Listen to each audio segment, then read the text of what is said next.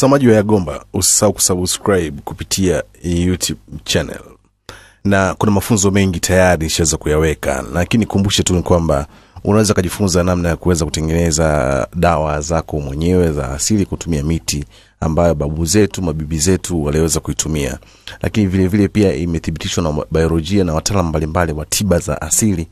Walifanya tafiti zao na kugundua kwamba hizi miti zinaweza zikatibu magonjwa ya kuku na ipo mingine pia huwa inatibu magonjwa ya binadamu.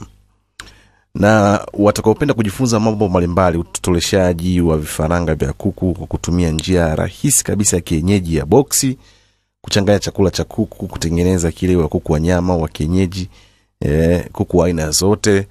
Unataka kuweza kufahamu namna ya kufuga kuku wafugaji fugaji mazingira yaweje? Kuna vitu vingi. Namba ya simu ni sifuri saba sita mbili tisa tano sita tatu sita sita. Kuna tiba ya ugonjwa wa kwa kutumia tumbaku.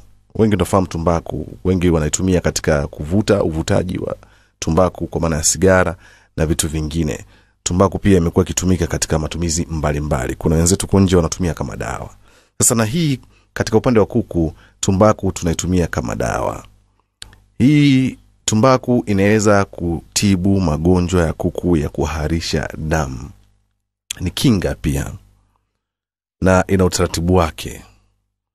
Kwa jinsi ya kuweza kutengeneza dawa hii kutumia tumbaku hatua ya kwanza unatakiwa u, uchukue tumbaku yenyewe unaisaga kama unga au ukipata ile ya unga yenyewe pia ni sawa. Lakini baada ya kufanya hivyo unachukua tena chombo ambacho ni kizuri na kiko safi. Unaweka maji unachanganya maji kwa pamoja. Kuna kiasi cha maji ambayo natakiwa tuyachanganye katika hiyo tumbaku yetu baada ya kuwa tumechanganya na maji. Lakini baada ya hapo kuna hatua ambayo inaofata nyingine na nyingine na nyingine. Zikimalizika hatua hizo ndipo tunaanza kuwapa sasa kuku wetu kwa ajili ya kama dawa. Na kuna namna ya kuweza kuwapa na kuna muda maalum wa kuweza kuwapa. Si kuwapa tu kwa moja kwa moja kila mara hapana.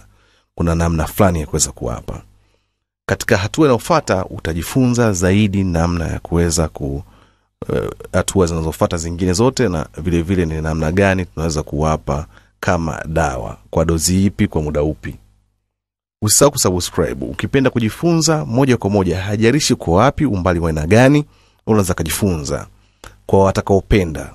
Wale ambao wapendi basi lakini kuna utaratibu wake kujifunza. Namba ya simu ni sifuri saba sita mbili tisa tano sita tatu sita sita. Usikose video unaofata asante na bye bye